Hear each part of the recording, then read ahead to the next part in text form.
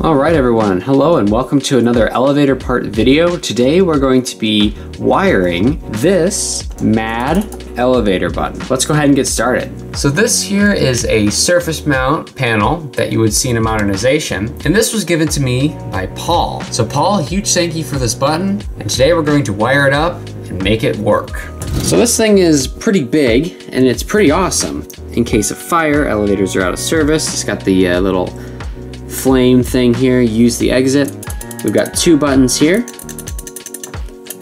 up and down obviously. If we turn it over to the back, here's the mounting bracket, and it even has the little screw which holds the mounting bracket in place. So to get inside to work on this thing, we have to take it out of the mounting bracket. And if we look on the very bottom here, we've got this little screw. So we can use this little T10 screwdriver bit and turn it and open this thing up. Once you remove this one little screw, you can see the bracket pops down like that. And if you lift it off, there's the mounting bracket there. And here we have the panel. So on the back here, we can see where the little flame icon is mounted on here. We have the little MAD logo, and look at that. Scan QR code to order parts. So if you want MAD parts, there you go.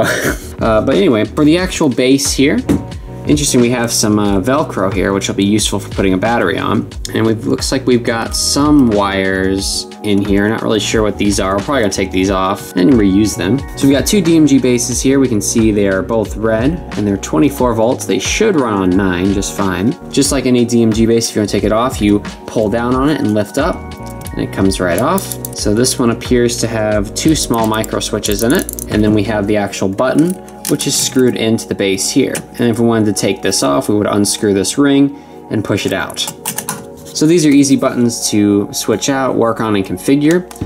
Not really sure what this little plastic thing here is in the middle, but we can leave it there. It's not really in the way. So let's go ahead and get started with wiring this thing. So I'm just going to use this already existing positive wire and add my battery pack on here. So next what I'm going to do is hook up the negative of the battery and this little wire that I took off of here to our common 2. And then attach the same wire to the common 2 of the other button. And now all that's left to do is take these little wires and connect them from the negative end to the NO2 of each switch, just like that. And now we need to hook up the battery and check it out. And we can see when I push the buttons, they both light up. All right, the buttons put back together, and there we go. And see it works and they both light up.